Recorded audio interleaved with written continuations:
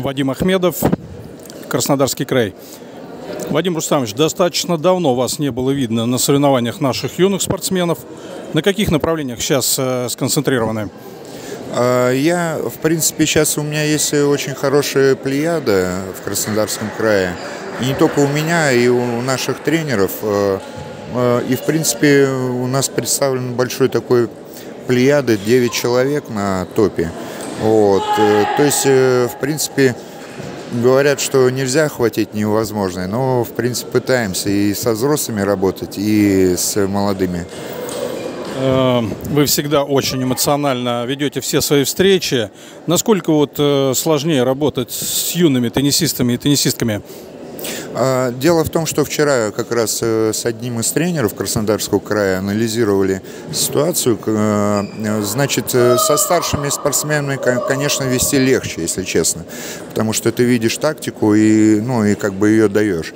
А спортсменов младшего возраста, конечно, нужно эмоционально настроить в первую очередь, что сложнее сделать. А потом уже, если человек, грубо говоря, спортсмен молодой, э, выходит к столу и он э, готов к борьбе, тогда уже ты можешь давать эту тактику.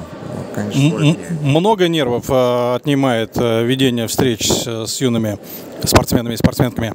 Но на самом деле я бы хотел сказать, что э, больше, больше, чем со старшими. Вопрос такой. Как идет подготовка к стартующему в середине марта в Санкт-Петербурге чемпионату страны? и какие результаты вы сочли бы успешными? Я так понимаю, что какие-то уже, наверное, задачи и места поставлены руководством.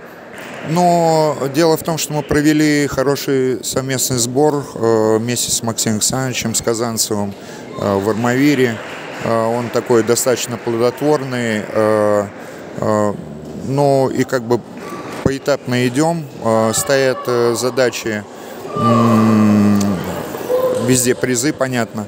Вот. Но э, есть какие-то моменты такие там, э, с, не связанные, скажем, с подготовкой. Это травма у Сени Гусева, это травма сейчас у Андрея Байболдина. И, э, конечно, это печально.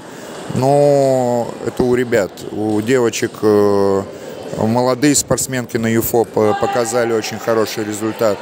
Э, я считаю, что все равно будем как бы стараться э, попадать в медали и биться за самые высокие места. Владимир Александрович, ну, конечно, огромное спасибо. Хочу пожелать от лица всех наших зрителей, э, чтобы все ваши основные действующие силы пришли в себя, восстановились и хороших вам результатов. Спасибо большое. Спасибо. Спасибо.